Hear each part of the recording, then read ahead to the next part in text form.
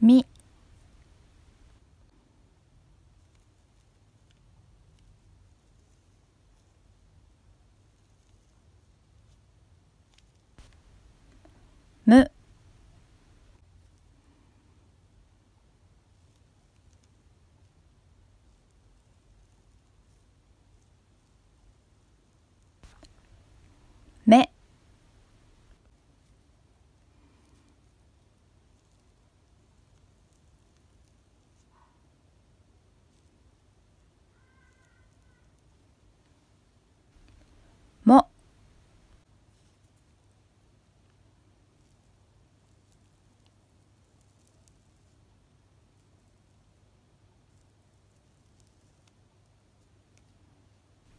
や。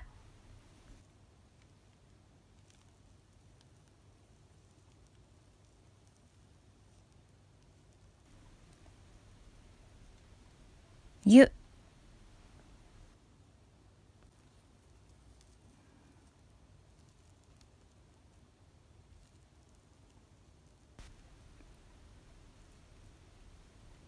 よ。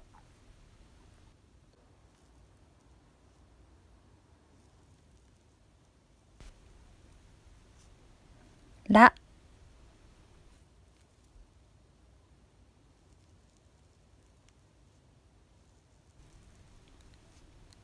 り。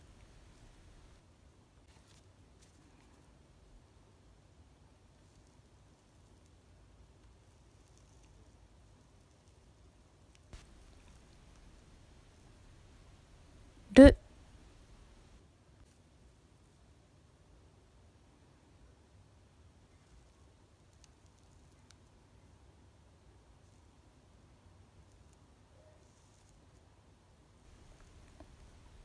れ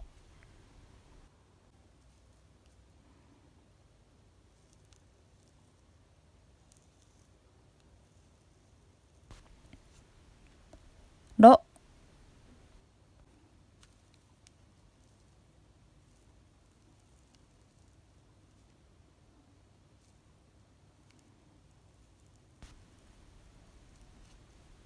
わ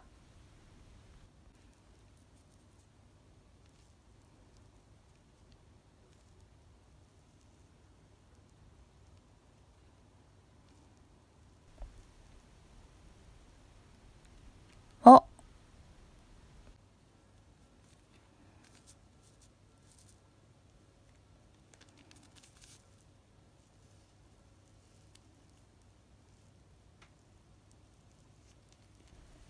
い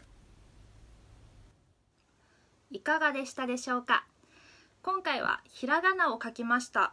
結構ひらがなっていうのはこうしなやかな線が本当に難しくて私は結構「は」だったりとか「ま」っていう字が結構苦手です。こう曲がる線ですね。あそれではまた次の動画でお会いしましょう。ありがとうございました。